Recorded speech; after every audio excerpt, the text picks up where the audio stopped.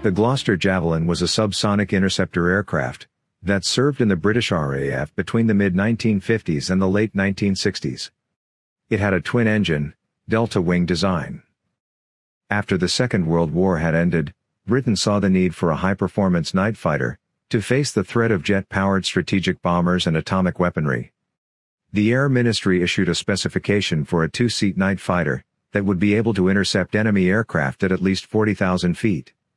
Other requirements included a minimum flight time of two hours, structural strength to support 4G maneuvers at high speed, and the inclusion of a radar. It was also crucial that the aircraft would be economical to produce. Gloster produced several design proposals, and eventually they and de Havilland was issued instructions by the Ministry of Supply, to each construct four airworthy prototypes, and one airframe each for structural testing. Gloster developed the Gloster GA5, and de Havilland developed the DH-110. However the number of ordered prototypes were reduced, due to cost-cutting measures. A strange effect of this was that the first production Gloster Javelin was actually completed before the prototype order was fulfilled. The first Gloster prototype was completed in 1951, and it conducted its first flight November 26 the same year. It was described as easy to fly, but during one test flight, the elevators detached in midair, the pilot was able to avoid disaster and land the aircraft.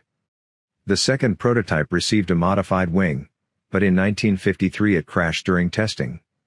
The pilot was killed. The wing had acted as an air brake, and degraded the airflow over the elevators, making the aircraft uncontrollable.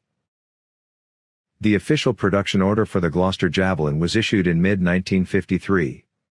Much of the construction was subcontracted to other aviation companies, as Gloster was still producing the Gloster Meteor.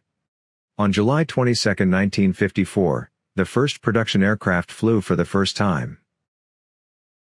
The Javelin became the Royal Air Force's first purpose-built all-weather interceptor. The delta wing and tailplane combination of the design was used to obtain the required maneuverability at high speed, and for the aircraft to be controllable at low landing speeds.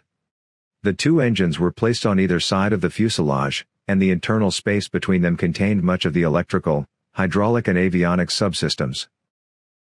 The aircraft was also fitted with ejection seats, and it had a significantly shorter turnaround time between sorties than the Gloster Meteor. The Gloster Javelin entered service in the RAF in 1956.